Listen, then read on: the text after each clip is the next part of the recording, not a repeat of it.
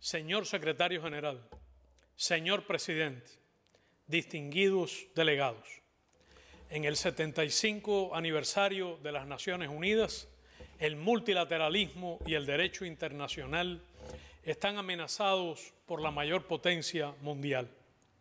La conducta irresponsable de los Estados Unidos es el mayor peligro para la paz y la seguridad internacionales. Promueve conflictos, guerras no convencionales y comerciales e impone severas medidas coercitivas unilaterales y dilapida en su carrera armamentista recursos indispensables para el desarrollo sostenible de nuestros pueblos, mientras se niega a cooperar en el enfrentamiento a las múltiples crisis generadas por la devastadora COVID-19.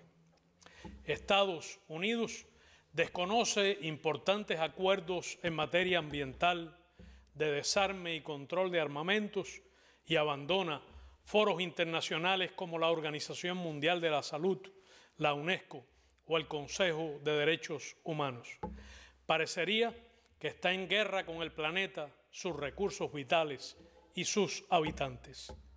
Impide la solución amplia, justa y duradera al conflicto israelo-palestino que esta organización ha reclamado históricamente. Propone el denominado Acuerdo del Siglo que amenaza el futuro del Estado de Palestina en las fronteras anteriores a 1967 y con Jerusalén Oriental como su capital. Niega al pueblo de Puerto Rico el derecho a la libre determinación e independencia cuando está por concluir el tercer decenio internacional para la eliminación del colonialismo. Interfiere en los asuntos internos de decenas de Estados miembros de la ONU y amenaza a quienes acusa de influir en su corrupto sistema electoral. El miedo y la mentira reiterada resultan las novedosas armas en su deshonesta estrategia mediática y de desinformación. Quebranta la proclama de América Latina y el Caribe como zona de paz al reactivar la doctrina Monroe contra Cuba eleva su hostilidad a niveles cualitativamente superiores, viola de forma sistemática los derechos humanos del pueblo cubano al recrudecer el bloqueo económico, comercial y financiero y su carácter extraterritorial.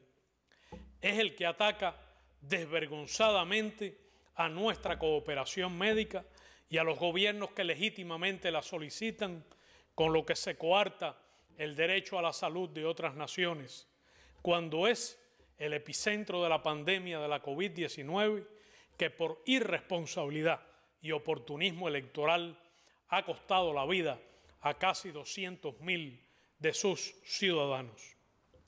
Señor presidente, a 75 años de haber suscrito la Carta de las Naciones Unidas, urge reafirmar nuestro compromiso con los principios del derecho internacional y el fortalecimiento del multilateralismo, la cooperación con los organismos internacionales y el empoderamiento de esta Asamblea General.